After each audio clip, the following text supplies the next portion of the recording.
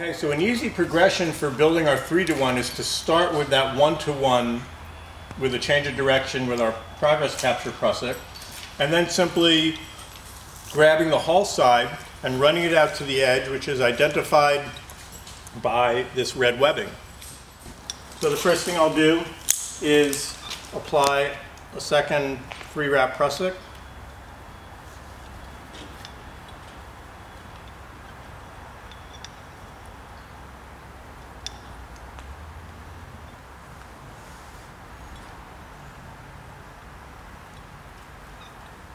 Make sure that it is set and dressed properly. And I'll run it out to the edge.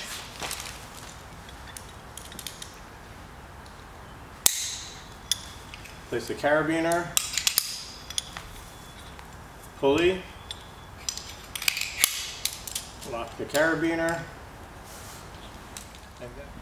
At this point, we'll use proper commands to begin our haul. Rescuer ready? Rescuer's ready. Haul team ready? All teams ready. Haul team haul. We'll haul hand over hand.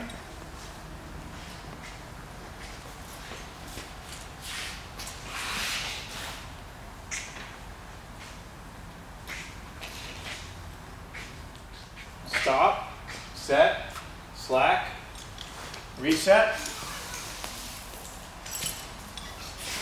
haul,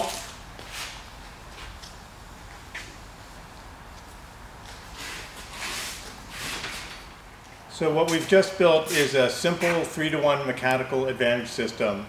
If we want our load to move one foot, we'll need to pull three feet of rope through the system. Uh, you can convert that mathematically into uh, one third the force needed to actually move the load. So again, in our hypothetical 100 pound load, we'd only need to input 33% um, of that in a three to one mechanical advantage system.